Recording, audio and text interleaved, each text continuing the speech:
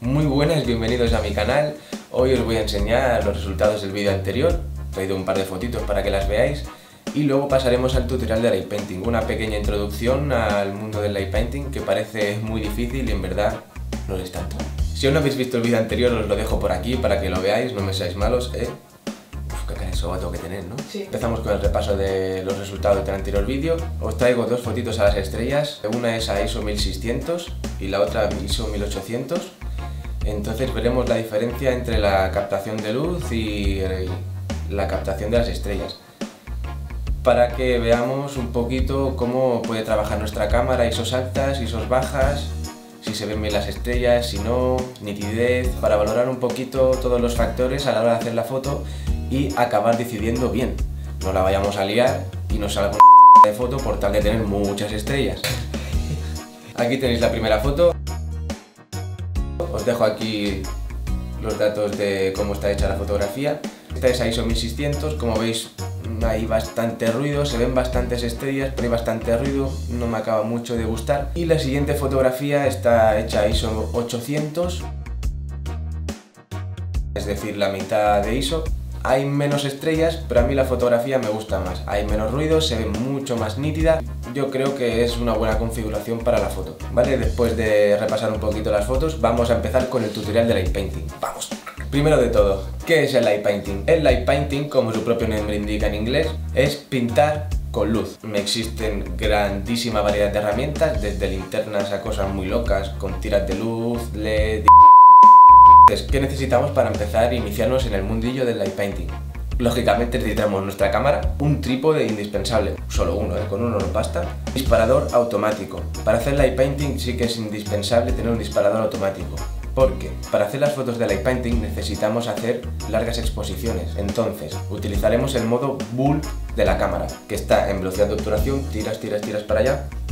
Y fuera de los números nos pondrá una opción que es Bull.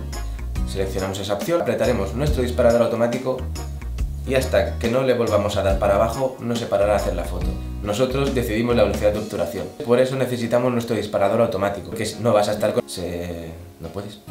No puedes, es tontos. Dicho esto, pasaremos al diafragma. No trabajaremos a diafragmas muy abiertos. ¿Por qué? Porque no queremos que se nos queme la foto.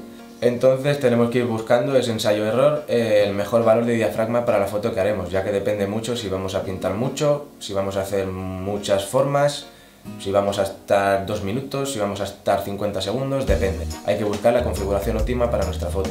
La ISO. Trabajaremos a ISOs bastante bajitas por lo mismo, porque se nos puede quemar la foto si metemos muchas luces y tal. Dicho esto, tenemos el material y más o menos cómo configurar nuestra cámara, una pequeña idea. Cualquier duda me lo ponéis en los comentarios. Vamos a empezar con una herramienta de light painting. Hoy veremos un poquito lo que se puede hacer con una linterna. Yo tengo esta, que hace luces de varios colores. Os pondré el link en la descripción y la página web donde la compré. No me pagan por hacer propaganda, yo solo la pongo y vosotros si queréis comprar en otro sitio me suda la... No, a mí no me pagan, haced lo que queráis.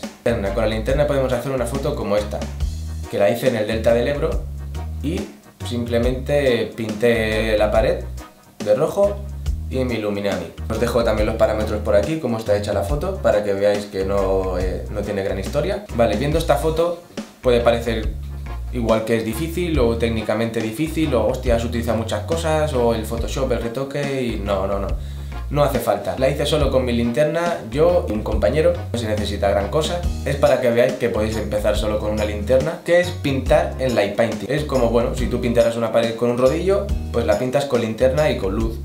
Pintar una pared, pintar un objeto, pintarte la cara, pintarte los huevos, lo que quieras. Y también vemos en la foto que os he enseñado eh, un efecto que es como de fuego, eso es dibujar en light painting. La diferencia que hay entre pintar y dibujar es que pintar la luz hacia la cámara es indirecta, es decir, la luz rebota en el objeto y va hacia la cámara.